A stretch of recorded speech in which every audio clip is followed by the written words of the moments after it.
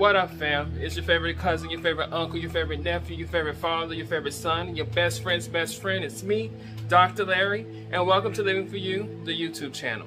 This is a safe space, a positive place in which we come together and we grow together and we get to know each other and we work on beginning to begin to move into our most present life today to where we can enjoy who we are, where we are in life.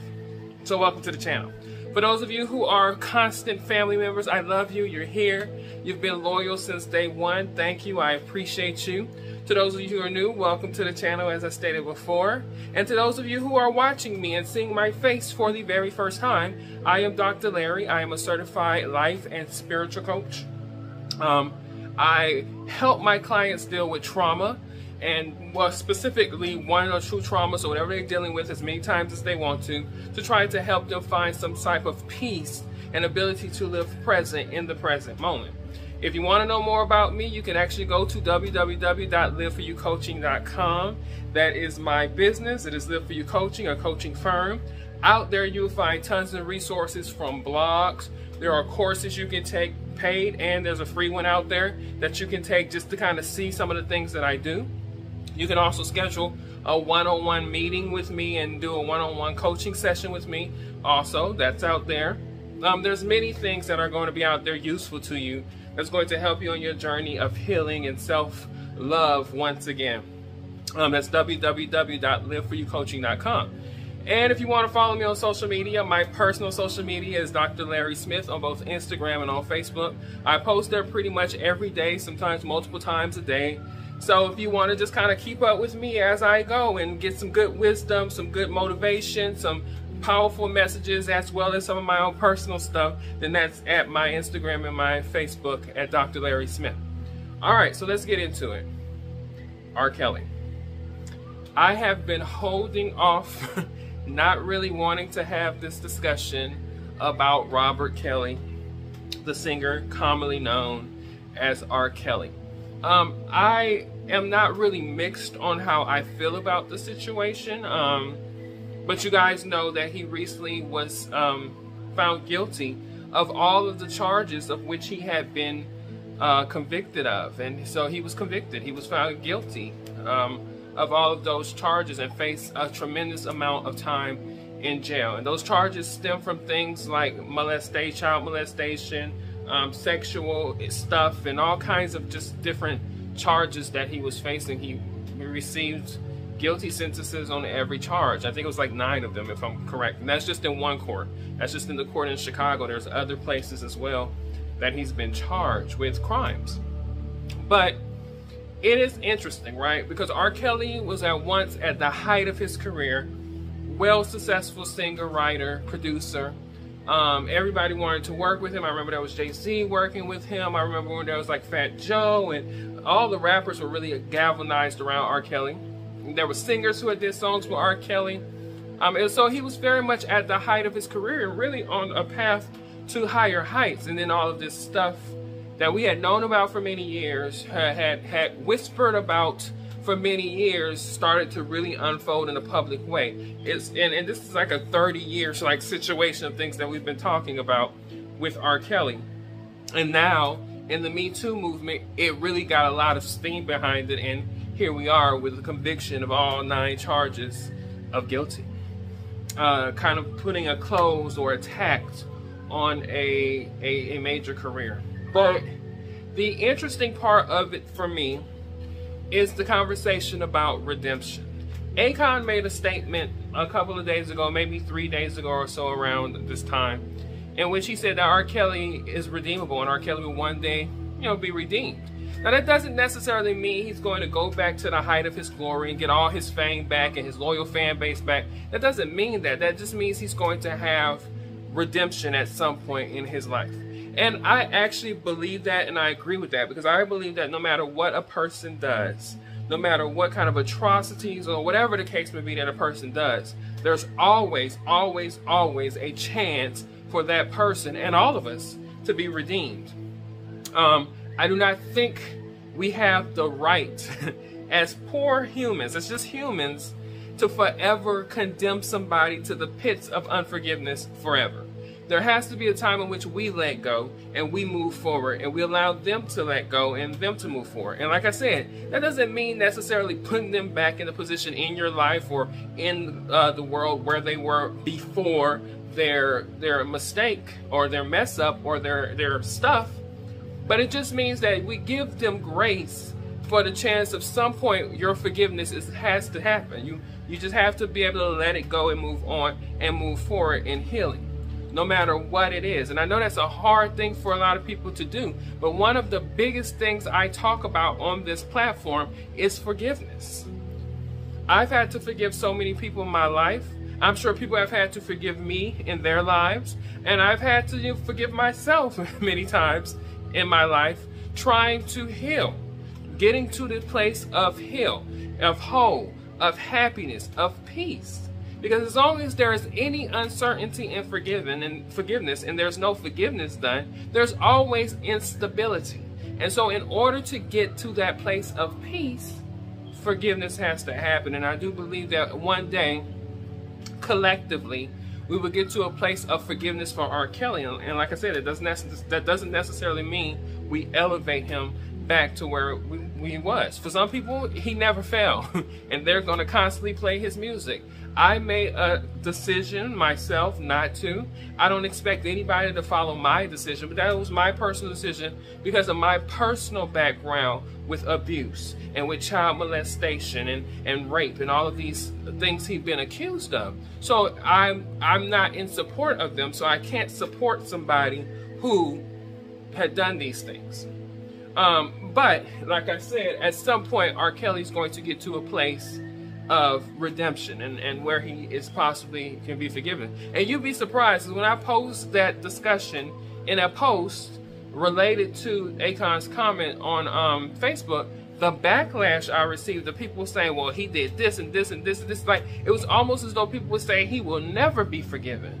And then there were some people who said he will. And then there were some people who said, I've already moved forward with him and, and I'm not going to ever let him go and I'm going to listen to his music. So it was many different ideals and beliefs behind it. But I believe it is important for us as people to be honest and real about what happened and what's happening and who people are and accept the consequences while at the same time not allowing ourselves to be the judge, the jury, the God, the punisher, the rewarder, as we're, that's not our realm. That's not what we do. And we have to be able to understand that and accept our, our, our limited ability to have knowledge on, on certain things and our limited ability to dictate how certain things happening.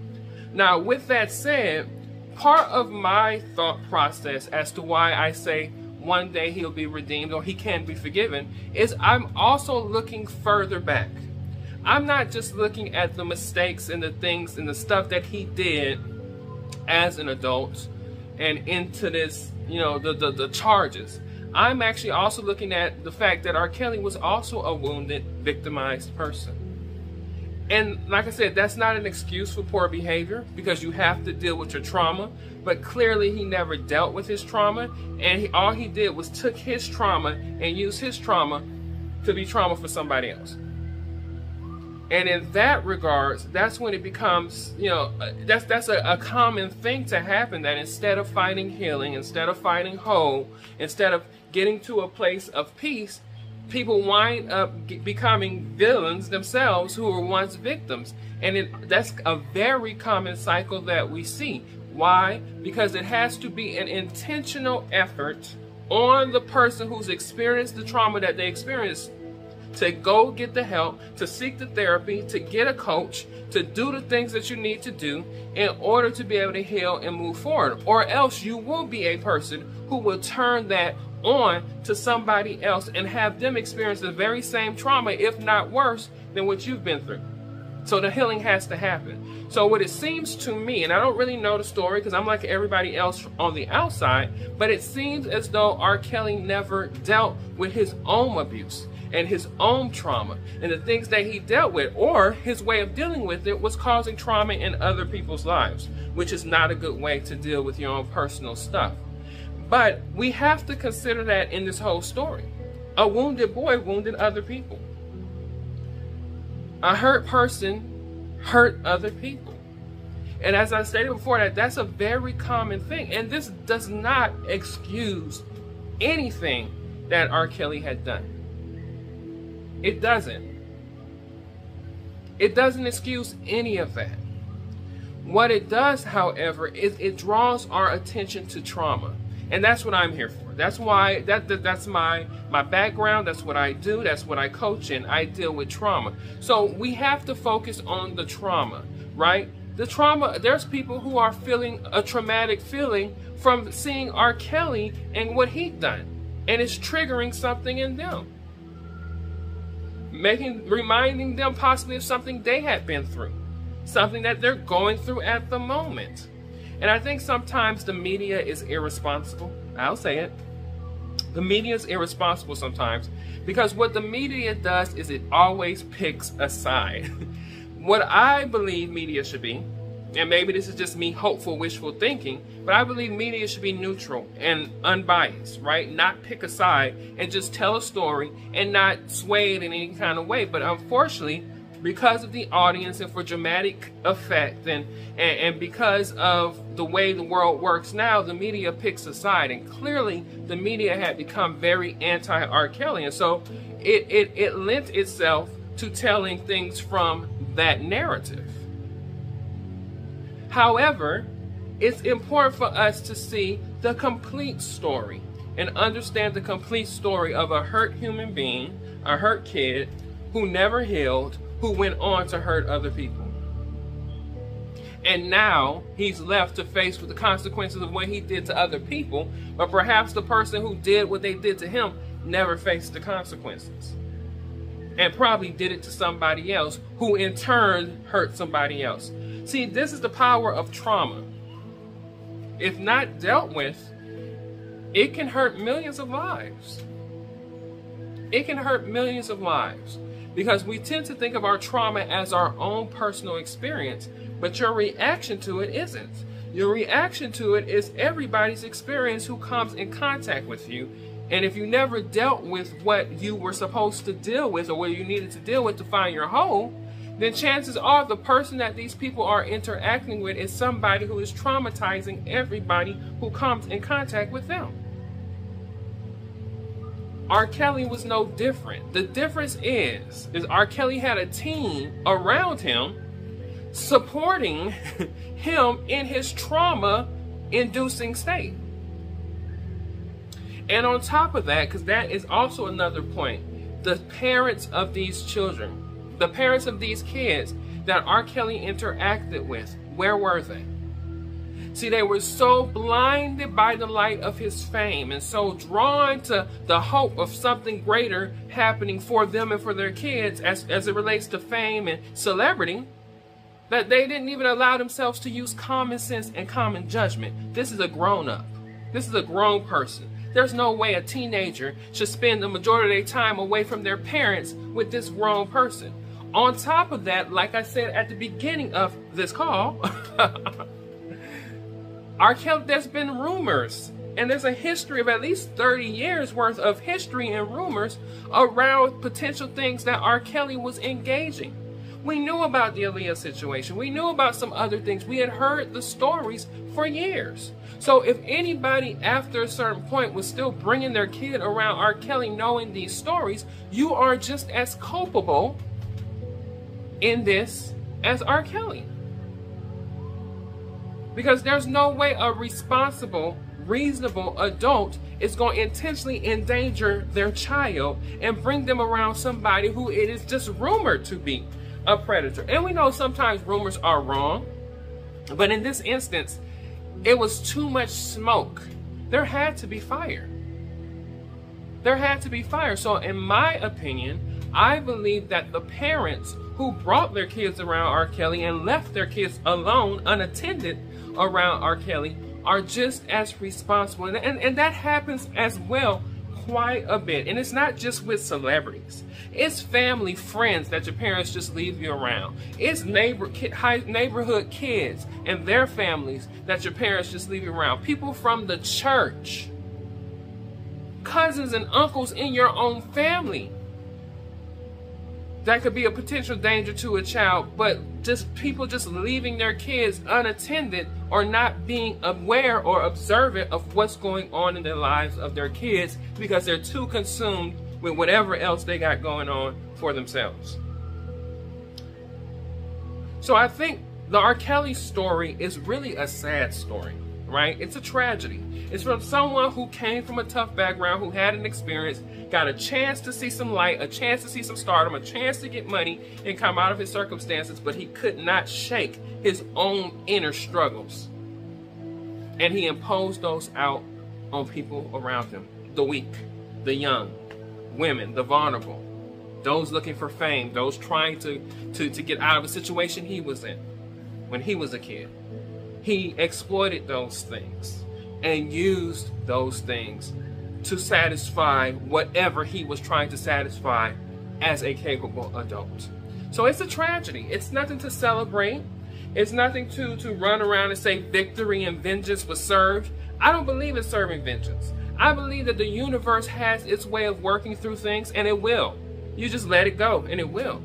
It's not my job to try to dispense it. It's not my job to try to pray for it or to hope for it. I just allow however things work to work. Some call it karma. I just say it's the universe correcting itself, correcting things.